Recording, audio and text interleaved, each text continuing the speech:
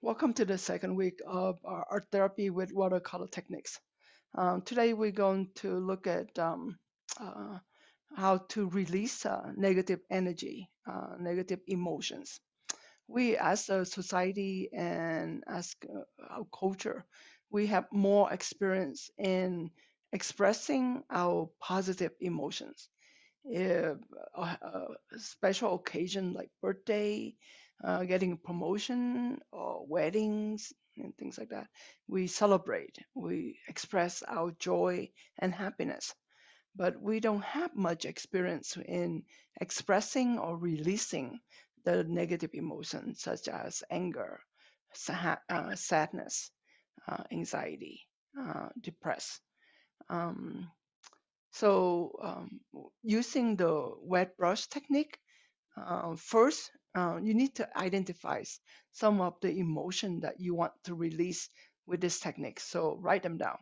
Um, you know, it's always good to check um, what are some of the emotion I felt since this morning, this week, some of the one that it keep bothering me. So then write them down, and then here are some uh, sample that you will see in the demonstration later. Uh, this is to let go uh, just like uh, emotions uh, by tilting the, the cardboard. And this is just releasing by doing it diagonally. Uh, I will send pictures of this so you can see clearer.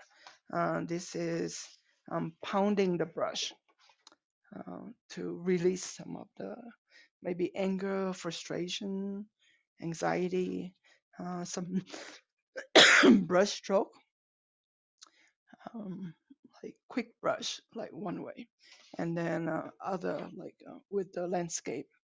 So um, uh, if you're ready, uh, we'll go to the demonstration. So now that you have identified some of the emotions that you want to release. So first, um, we have uh, two brushes here, uh, the flat brush, as I said before, and the round brush and the paint. I already spray it like five minutes ago, so let, let it soak in so it's easier for me to pick up the paint. Uh, two cups of water. I will um, use a piece of paper towel later to cover up this part of the um, um, the the paper, the watercolor paper. So now still doing the wet brush technique, which is uh, wetting the paper first before we putting the paint. So as I am um, putting down the water, I'm thinking of what color I uh, identify or associate the emotion with. Um, so um, I had um, look at what I felt today, and I identify five emotions. Um, so using the round brush. Uh, so first, contentment. Uh, and this is not right way or wrong way of doing it. So for each person, uh, the color uh, can be different. For me, contentment um, with yellow, it can be spiritual. So I'm going to use this yellow and tilting my paper um, one one end.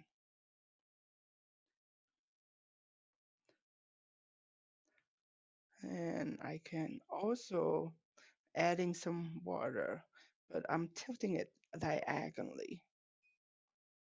So letting the releasing some that, that uh, contentment.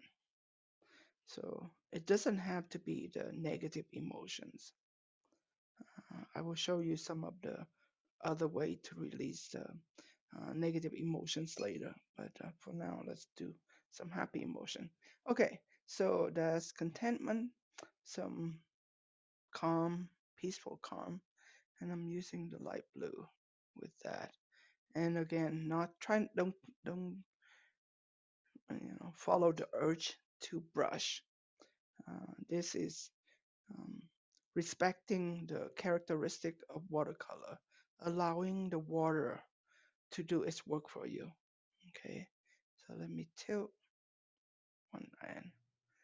Um, let me do magenta, which is my restful color. Well, because today is the weekend for me, so I'm able to um, identify some of the emotions that I um, resting, so calming um, has a peaceful effect to it. So as you tilting the um, paper back and forth, um, let's do some kind of green. Let's do a green. Green is self-care.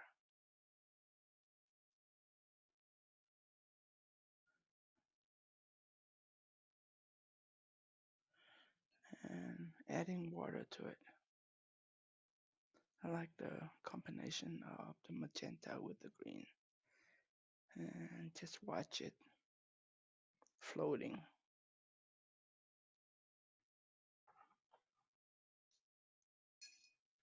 Okay, I have a choice.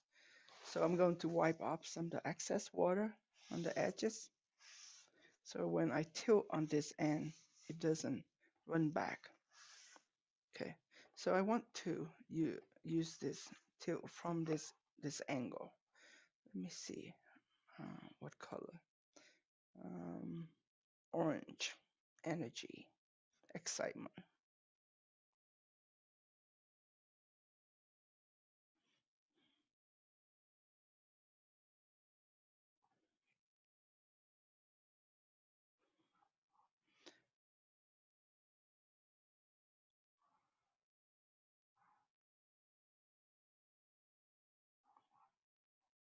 Okay, and then, like I said before, um, I like it like this.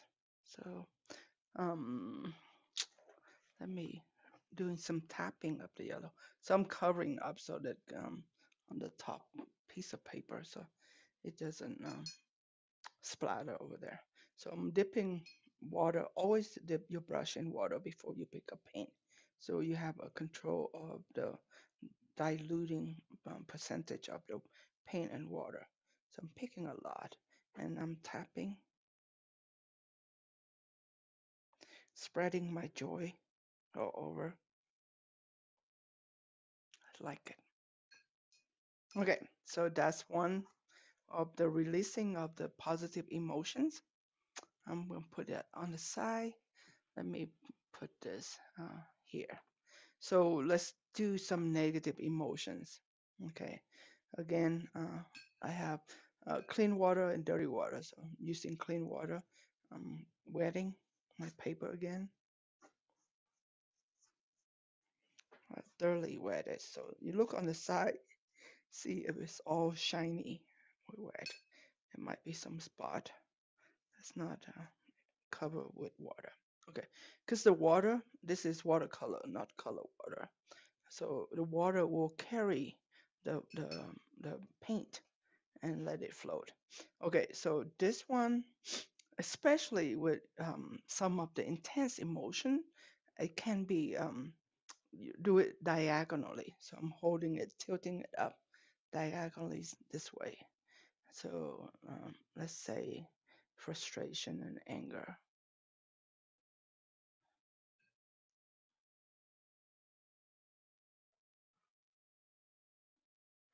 So this is the corner that I'm holding it, tilting it. Um, continue to add more paint and water so that it's releasing that way.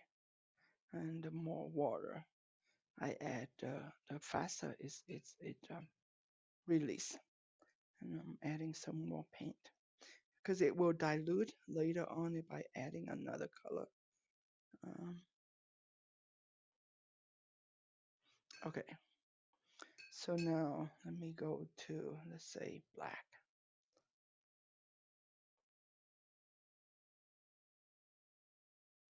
Add water to it.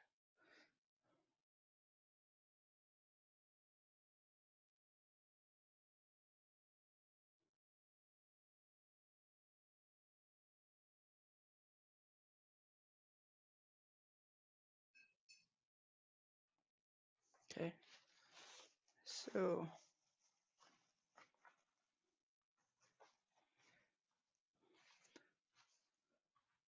this, oh, and then on top of this, here's another technique with the wet brush watercolor is the uh, um, splattering. It's not a tapping, the splattering. So you want to hold this brush tightly like this, and you brush it, flick, flick, flick it this way or this way. Okay, let me show that. Okay, so this is um, so let me get some um, purple in there. You know, there's some sadness that come with my uh, frustration and anger. See that? So it's all in that um, the uh, the wrist and uh,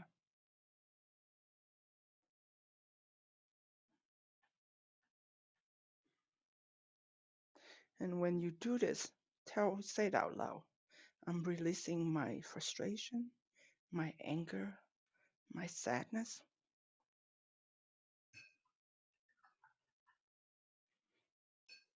Uh, do some more yellow or red in there, and this one tapping it. So the um, the paper is quite dry a little bit, and only the middle part that has the the, I let the, the red and the black drip has that. So um, let's put that aside.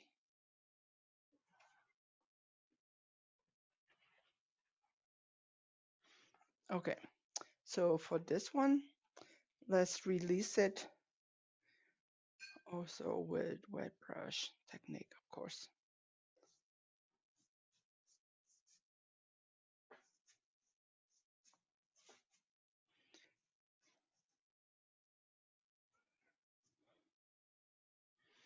Okay, so I'm going to use this brush and I'm loading up and then this one, uh, let me do magenta. Okay, so still frustration. This one you can um, um, like um, doing the, the the you know pounding up up my frustration there. See how it's releasing. Okay, let's do some purple.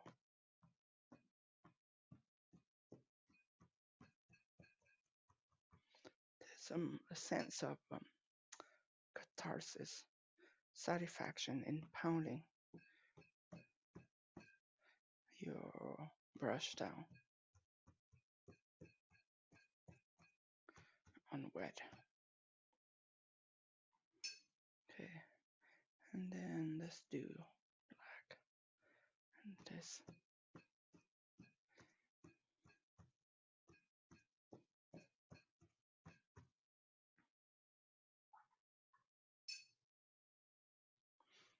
Okay. I'm also going to um, splatter some um, blue into that this. Oops, let me cover this up.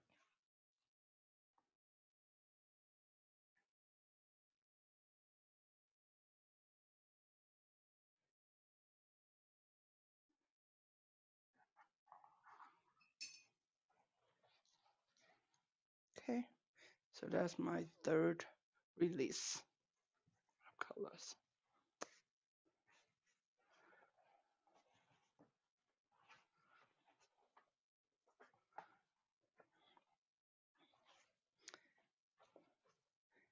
Again, this one wetted.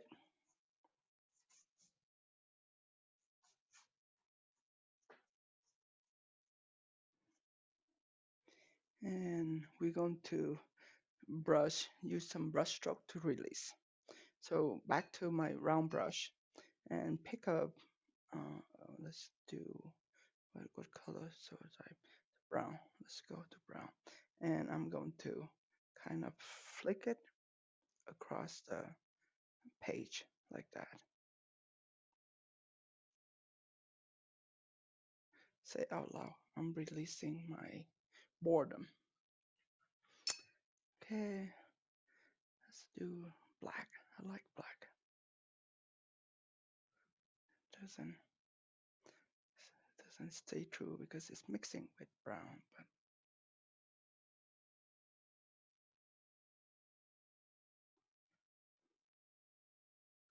oops. Okay, so here's a good opportunity for to show you how to fix your mistakes. So I accidentally get some paint on the other side of the page. You do is you use a big brush, flat brush, and with water you scrub it up and use a paper towel to dab up. And it's almost as, as new. Okay, so let me put a piece of paper towel on so I'm not doing that again. Okay, so yeah, I can do like from the other direction.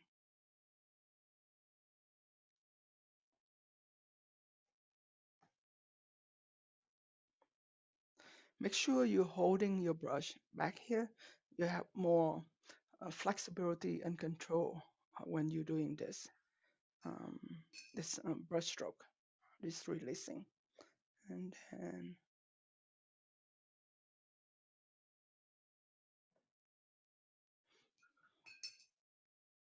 okay.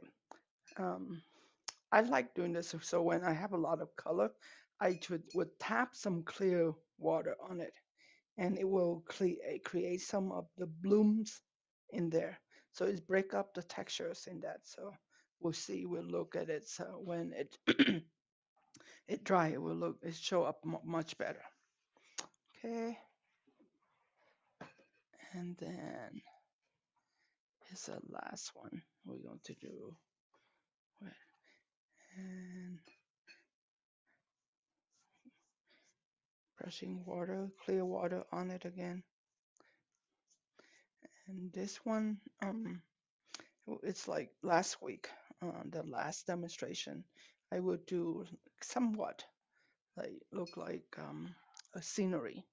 Um, it's also releasing, but it could be a releasing of um, you know tranquility and peace. Um, you know, we we um, with the world that we're living in right now, we can release some of those energy out. So I'm going to use um, this sienna brown, brown, and I'm just lightly um, going back and forth at the bottom and tilting it up a little bit. I like it. You know, so when it's running down a little bit, it has that texture there. A um, little bit of darker brown.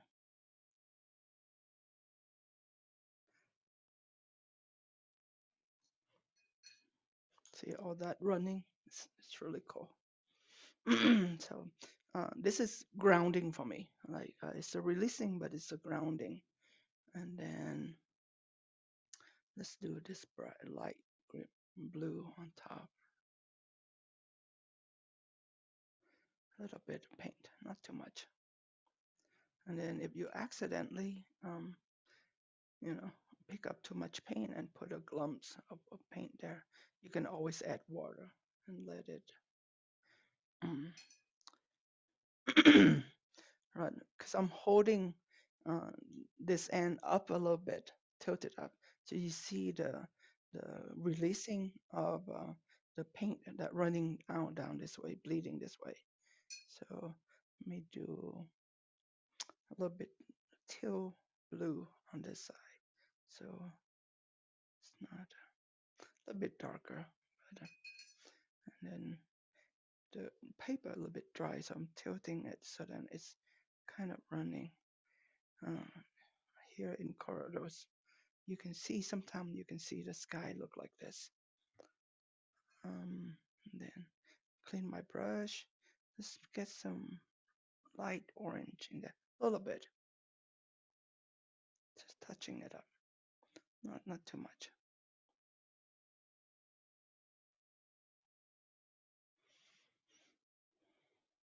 I'm going back and doing some of that because I like it because the the brown how it running you know, has that um, texture of running down and uh,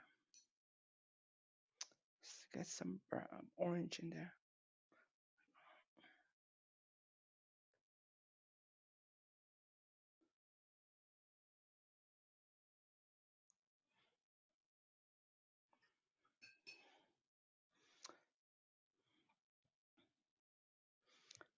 Some this spot is drying up, so I'm just adding water to it. Uh, right here is too dark. Just lightly move the paint so that it has a.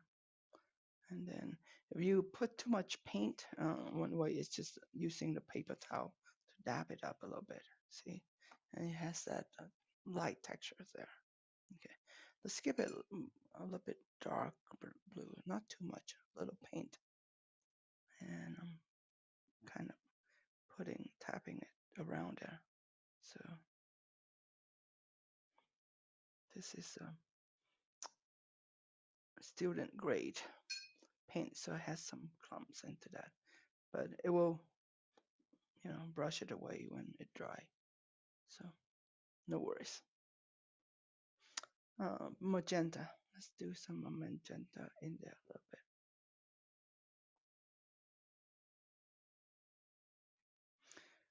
This is a perfect, perfect.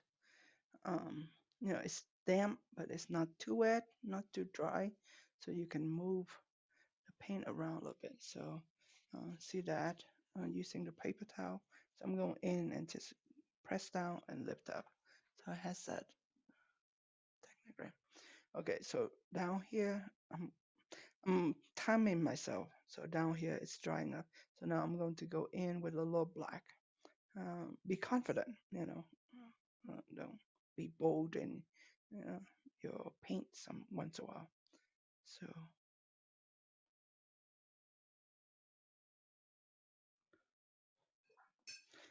and maybe a spot of green in there, just here and there. And I think I'm done. All right. And uh, see, so all this technique, you can do variety. Try it out with different uh, color combination. And uh, hopefully you can um, um, practice and um, uh, um, uh, implement this in your life.